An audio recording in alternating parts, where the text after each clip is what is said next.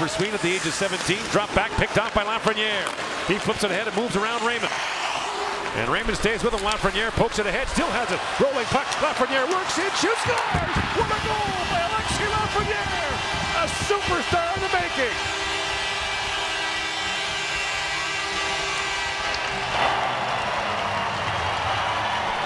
Wow.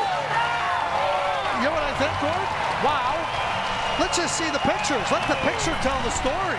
I mean, this is brilliance.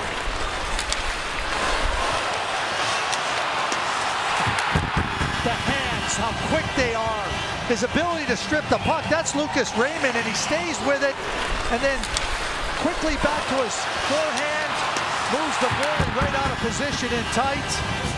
Undressed Hedstrom on the play. Oh, unbelievable skill. That's the other thing about Alexi Lafreniere.